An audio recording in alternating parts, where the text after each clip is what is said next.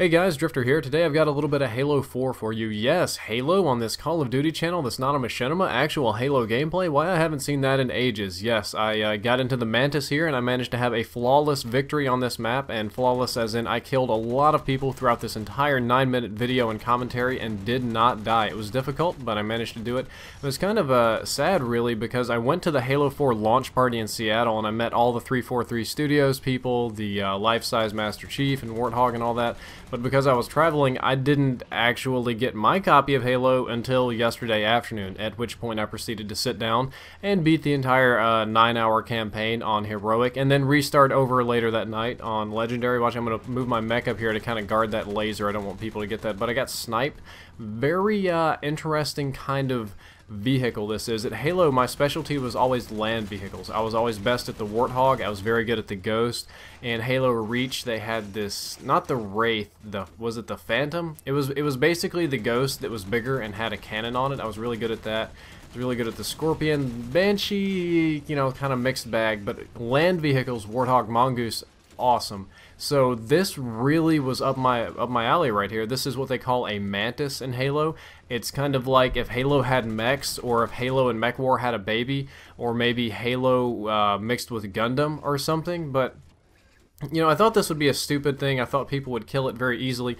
But if you use this weapon properly, the way it's designed to be used, it's actually an extremely effective weapon. This guy over here almost got me with the turret. And it's not overpowered. It's fairly easy to take down if people get up behind you or if you hit it with a laser or something.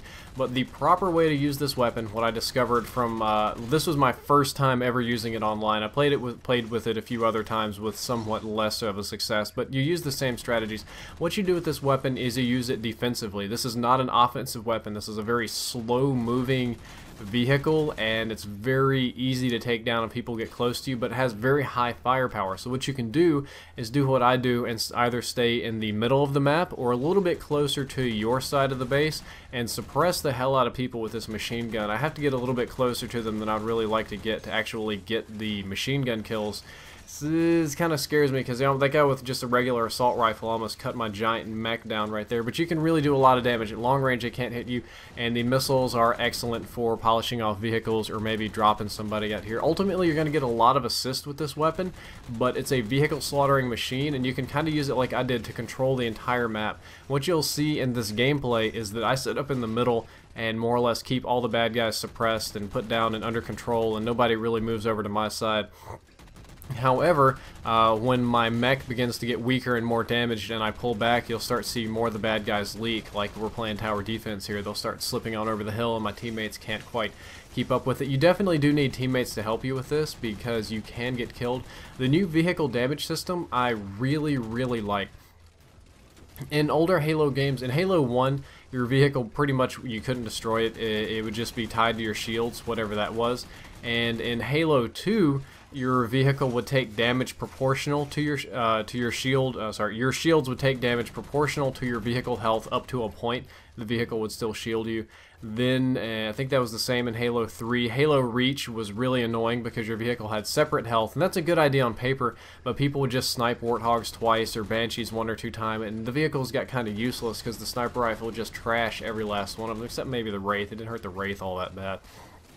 But in this game, I feel like they found an excellent balance on how to handle vehicles becoming overpowered, because in older Halo games, your shields would just regenerate and you couldn't really hurt the vehicles.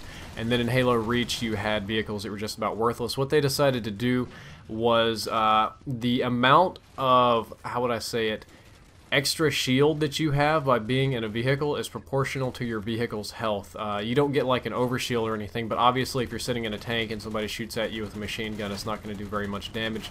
But the more damaged your vehicle becomes, the lesser that benefit is. I noticed this with Warthogs, with the Mantis, with the Ghost. So if I have a fresh, let's say, Warthog, and somebody shoots at me with a machine gun, they're only hitting the Warthog, it's going to be doing like one-fifth to one-quarter damage to my shields or less. But if I use this hog for a while and I get all the way down for the things on fire, the hubcaps have fallen off, it looks like hell, it's not protecting me at all. I get no armor bonus from sitting in the Warthog, so if somebody starts shooting at it with a pistol, it does the same damage that it would do to my normal shields if they were hitting me with a pistol. Less the headshots, of course. Here we go. We got some Mantis on Mantis action. There's his back. He's coming to get me, and I took him out. Did you see that? Nailed him with a rocket. Actually, that might have been a... Yeah, no, I got him. I don't even know. It's kind of hard to keep track of what I actually killed and what I got assist for in this game because you get medals for just about everything. It's like, ooh, you got a kill with a vehicle. That's a medal. You got a regular kill. That's a medal. You got an assist. That's a medal. Like, well, damn, what what do I not get medals for? But the Halo 4 multiplayer overall is interesting. It takes the better elements from Halo 3 and a handful from Halo Reach. The bloom from Halo Reach comes back, but it's not as extreme, so I can actually hit things with my guns, and I might actually play this game now. I didn't play Reach because the reticle bloom was too strong, but they started mixing in elements of Call of Duty. In Halo 3, you now have, I wouldn't say unlimited sprint. Sprint is no longer an armor ability. You just kind of get it and you can run a couple hundred yards, pretty long way. And then you have an armor ability on top of that. So you have sprint plus something else, and the armor abilities are weaker than they were in Halo Reach. In Halo Reach, it was like the armor ability battle. Was he going to do the shield lock, or was he going to jetpack, or uh, roll into you, or something like that? In this game, the jetpack doesn't boost you as high, the, the cloaking doesn't work as well. You have to be more tactical with your armor abilities instead of kind of depending on them to be a douchebag, uh, a la Halo Reach. They also added in uh, what I would call mini kill streaks, or ordinances, it just kind of builds up after you've killed so many people. You can summon an overshield or a shotgun or something. It falls in one of those little drop piles. You can actually kill somebody if, the, if your ordnance drops on top of them and crushes them.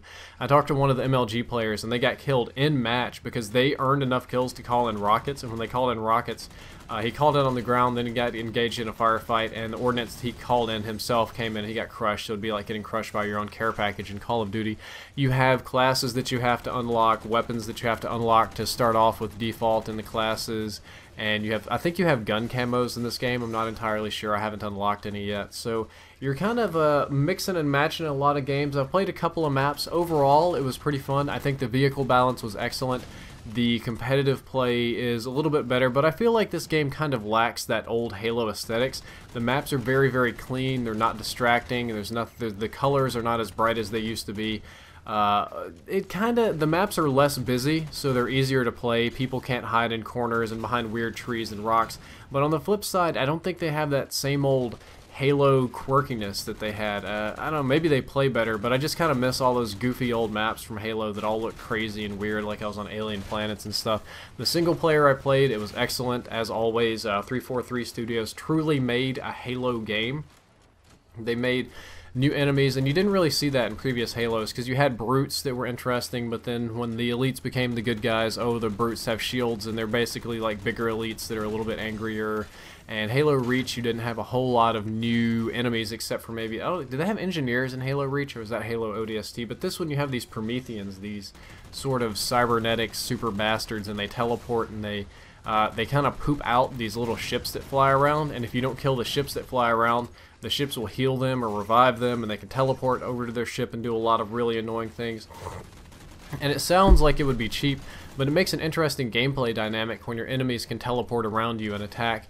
Overall, it was really fun. I probably won't post a whole lot of Halo content on this channel. I like to play Halo by myself. It's mostly a COD channel. I play COD in public, but Halo is kind of like my private game where I can go and play and be a nobody and have nobody recognize me and have no expectations or anything. And it's it's maintained its fun. It's a 10-year-old game or 10-year-old series, and it's still fun for me. And the question is, is Halo 4 better than Black Ops 2? If I have the money, which one should I buy? And uh, if you're going for a single player experience and you like horde mode and firefight and that kind of stuff, Halo is probably better. But if you're going for raw multiplayer, uh, I'm gonna say go with Black Ops 2. Uh, people still like Call of Duty. Call of Duty still popular and happening, but Halo may or may not have seen it today. It's no longer the number one online shooter. It's still fun, but some people don't like it. It's not the game that everybody's going to be playing. It's uh, If you're a Halo fan, if you like Halo, if you enjoy Halo, you'll definitely enjoy this one. But if not, and you can only get one, I would tell you to get Black Ops 2. Well, that's all for this commentary. I think I went 18 and 0 and had buttloads of assists. I hope you enjoyed it. Drift0r out.